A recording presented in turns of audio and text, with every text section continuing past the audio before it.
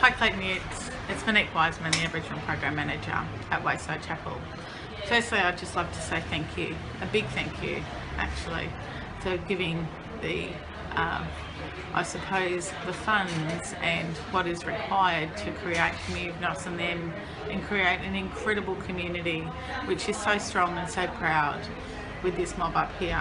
We've seen so many incredible transformations and positive journeys being able to um, enable a, a safe, uh, appropriate space for our Aboriginal and Torres Strait Islander community to come together as one, um, to walk beside each other through through grief, through loss, but also through achievement of just being able to share a meal, um, possibly see somebody housed for the first time, or be able to share their story from where they've come from to what brought them firstly to King's Cross to be able to have a positive journey to go beyond um, and show the world that they are just a, a very important piece of the puzzle in this great place of ours. So thank you Clayton Utz for your contribution and your ongoing support. It means the world to the mob and certainly me. It makes me very, very proud to be part of this incredible community. Hello, my name is Joan Wyman. Um, I've been in King's Cross going to Wayside since the old building in 97. Um, it's good to have um, a Koori space at Wilcan, I mean in Wayside, only because now we get um, caseworkers that will work with, with us one-on-one. -on -one. um, it's been good, it's still open, It has been for five years, and everyone's enjoyed it.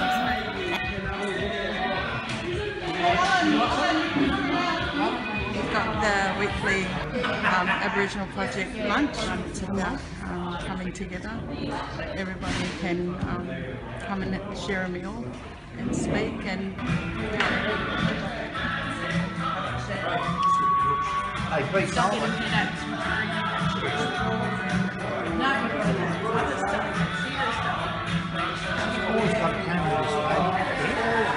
I'm Joe Black. What we do here is talk to people and take their stories. Moni's idea is that if the Aboriginal space at Wayside has a record of people's stories, it's something that the Aboriginal space can hold a copy of for the people so that they can give it to their family at some stage also they can hold it and they have a record of what's happened to them of the joys in their life and the lows and how they've overcome them. And in 2010 I was transferred to the project. Are you writing your You're own story? transferred I've already done Logan. I'm from Queensland, but I've been living in New South Wales for about 16 years. You know, it's, it's, uh, it's a development thing, you know, we got, you know, you know, I mean, uh, people who, you know, drugs and alcohol, you know, I'm away from that, I'm happy, stuff like that, you know. Um, my name's Andrew. Um, we've been coming here for three years, and I've come here basically for the service. Um, direct help with a lot of things like housing, um, court matters, um, getting in and out of jail, finding other resources and like referrals, and just general support. Been doing that for three years. It's over that three years I've been out of jail for that three years. So by having this place, it's it's important on a level of, of knowing where I am and where I'm going. Like I've got children. Um, the, place here helps me like keep me maintained as as an Aboriginal man because it's an Aboriginal project do Murray. Sitter and I'm a volunteer. Today I'm cooking, so my role is normally what's called brunch surprise with Mari and today I've got a whole container of sweet potato and so I'm going to mix some smoked chicken and some sausage and onion and garlic and make the soup or whatever turns out. My intention is when they walk up the stairs in the morning that they've got the smell of onion or something and they can feel like they're, they're coming. I've been coming in for, for uh, quite a few years now. Yeah, it make, makes, it makes you feel, makes you feel safe and have fun.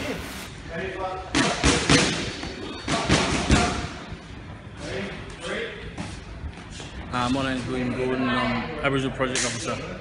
Um, every Friday we do a bit of boxing and fitness. So um, the aim is just to get everyone around the area included, doesn't matter what level they are boxing, and um, have a bit of fun, learn a bit of skills, a bit of self-defence, and do a little bit of fitness. So, getting people out of their comfort zone. So we've got a lot of people who, who I'll talk outside here probably wouldn't say much to me, but when they come up here, they, they're full of talk and, and they want to do a bit of training.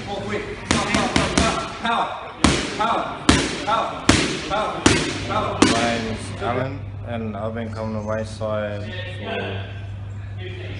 for over about six and a half, maybe seven and a half years. I've been back and forth from Wayside and Water Harvest areas. Wayside's provided me with um, a, a lot of support for health. Well, um, I used to do just uh, cardio workouts, like a little bit of like martial arts type of workouts and that, just to keep people fit and feeling confident in themselves, you know.